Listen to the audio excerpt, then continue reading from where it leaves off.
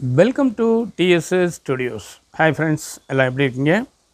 ஒரு நாள் அதிகாலை ஒரு அஞ்சரை அஞ்சே முக்கால் மணி இருக்கும். லேசாக தூறல். காலையில் பால் வாங்க வேண்டிய ஒரு கட்டாயம் எனக்கு. வழக்கமாக முத நாள் ராத்திரி வாங்குகிற வழக்கம். அதை முத நாள் மறந்த அன்னைக்கு மறுநாள் இந்த மாதிரி அஞ்சரை அஞ்சே முக்கால் ஆறுக்குள்ளே போய் பால் வாங்கணும். அந்த நேரம் எந்த கடையும் இருக்காது. ஏழு படி இல்லாமல் எந்த பால் கடையும் மளிகை கடையும் திறக்காது. ஆனால் அந்த ஆவின் பூத்துலேருந்து ட்ரேயை மட்டும் கொண்டு வந்து ஒரு இடத்துல அடுக்கிட்டு ஒரு தம்பி வியாபாரம் பண்ணிட்டு இருப்பார். ஒரு அஞ்சு அஞ்சரைக்கே வந்துடுவார் அஞ்சு மணிக்கே வந்துடுவார்னு நினைக்கிறேன். நான் அஞ்சரைக்கு மேலே தான் போவேன். அவர் நிறைய ட்ரே வச்சுக்கிட்டு விற்றுட்ருக்காரு வரவங்க ஒன்றுனா வாங்கிட்டு போகிறாங்க இது ஒரு ஆறே முக்கால் ஏழு வரைக்கும் இருப்பார். கடை திறக்கிற வரைக்கும். அதுக்கப்புறம் அவர் போயிடுவார். ஒரு பார்ட் டைமாக கூட இருக்கலாம் அது. நானுமே அடிக்கடி போக மாட்டேன். ஒரு பத்து நாளைக்கு ஒரு வாட்டி இந்த மாதிரி மறந்த அன்னைக்கு இல்லை பால் கிடைக்காத அன்னைக்கு அது மாதிரி ஏதோ கண்டிஷனில் போவேன்.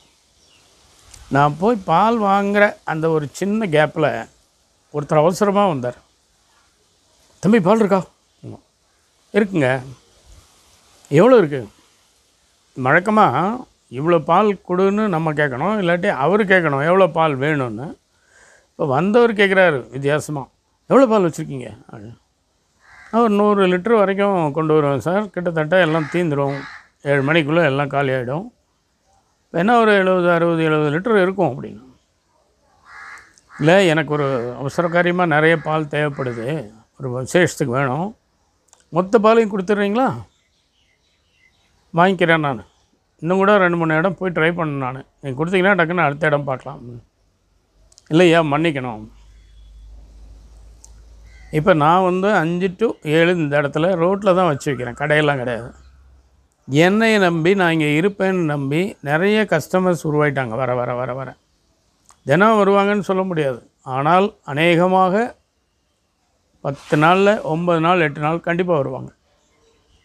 ஏழு மணிக்கு தான் கடை திறக்கும். அதனால் ஆறரை வரைக்கும் வர்றவங்க ஆறே முக்கால் வரைக்கும் வர்றவங்களுக்கு இது ரொம்ப சௌகரியமாக இருக்குன்னு வந்து வாங்கிட்டு போவாங்க. நீங்கள் இப்போ அஞ்சரை அஞ்சே முக்காலுக்கு எல்லாத்தையும் வாங்கிட்டு போயிட்டீங்கன்னா நான் ஆறு மணிக்கே கடையை மூடிட்டு ஜாலியாக போயிடுவேன் எனக்கு லாபம் தான். ஒரு மணி நேரம் மிச்சம். ஆனால் முறை இல்லைங்களே. நம்மளை நம்பி வருவாங்களே. பாவம் இல்லையா அவங்க? பால் ஒன்றும் கிடைக்காம போயிடாது. ஆறரை மணிக்கு வந்தாங்கன்னா ஏழு வரைக்கும் வெயிட் பண்ணணும். அந்த கேப்பில் வீட்டுக்கு போயிட்டு வர முடியுமா? முடியாது. எவ்வளோ தூரம் இருக்கோ தெரியாது.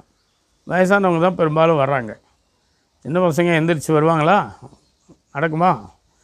அதனால் ஒரு ஒரு லிட்டரோ ரெண்டு லிட்டரோ வேணால் வாங்கிக்கோங்க. ஆனால் மொத்த பாலையும் கொடுக்கறதுக்கு வசதிப்படாது. மன்னிக்கணும் அப்படின்ட்டார் மறுபடியும். அப்புறம் அவர் இல்லை எனக்கு மொத்தம் தான் வேணும்ன்ட்டு அவர் போயிட்டார். எனக்கு அந்த ஆச்சரியத்துலேருந்து மீள்றதுக்கு ரொம்ப நேரம் ஆச்சு. நான் அதையே நினச்சிருந்தேன் ரொம்ப நேரம். இன்னும் இந்த வயசில் இப்படி ஒரு பொறுப்பு? இத்தனைக்கும் இந்த கஸ்டமர்னு சொல்லக்கூடிய ஆளுங்க வந்து டெய்லி வரவங்களா? நானே வாரம் பத்து நாளைக்கு ஒரு வாட்டி வருவேன். அது மாதிரி எத்தனை பேரோ யாரும் கார்டு வாங்கிட்டு அவர்கிட்ட பஞ்ச் பண்ணி வாங்குற மாதிரி ஆளுங்களும் கிடையாது. இல்லை நேற்றே வந்து காசு கொடுத்துட்டு ஐயா நாளைக்கு எனக்கு பால் வேணும் மறந்துடாதீங்கன்னு சொல்கிற ஆளும் கிடையாது. தற்செயலாக வருவாங்க வாங்கிட்டு போவாங்க. வாக்கிங் வந்து பால் வாங்குறவங்க இருக்காங்க. பால் வாங்குறதுக்காகவே வாக்கிங் வரவங்களும் இருக்காங்க. நான் மறந்தால் மட்டும்தான் போவேன். வாக்கிங்கும் போக மாட்டேன் பால் வாங்கவும் போக மாட்டேன். முதல் நாள் நைட்டு மறந்தால் கண்டிப்பாக அடுத்த நாள் காலையில் போகணும். மழையோ வெயிலோ புயலோ அது போயே ஆகணும்.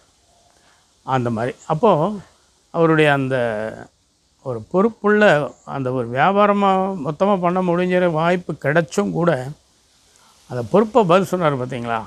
என்னை நம்பி வந்துடுவாங்க சார். அவங்கள ஏமாற்றக்கூடாதுன்னு அங்கே நிற்கிறாருங்க அவர். அவருடைய குணம் மனம் காரம் எல்லாம் அங்கே தெரியுது. ரொம்ப ஆச்சரியமாக இருந்தது. எனக்கு அந்த விஷயம் ரொம்ப நெகிழ்ச்சியாக இருந்தது. சரி நம்ம நேயர்களோட பகிர்ந்துக்கலாமே அப்படின்னு தான் உங்களுக்கு நான் சொல்லியிருக்கேன். நிச்சயமாக நான் நம்புகிறேன் இந்த விஷயம் உங்களுக்கு நல்லாவே பிடிச்சிருக்கணும் உங்கள் கருத்துக்களை கமெண்ட் பாக்ஸில் உள்ளது உள்ளபடி போடுங்க. மீண்டும் அடுத்த எபிசோடில் சந்திப்போமா? அதுவரை உங்களிடமிருந்து விடைபெறுவது உங்கள் அன்பன் டி சண்முக சுந்தரம் போத்தனூர் கோயமுத்தூர் நன்றி வணக்கம்.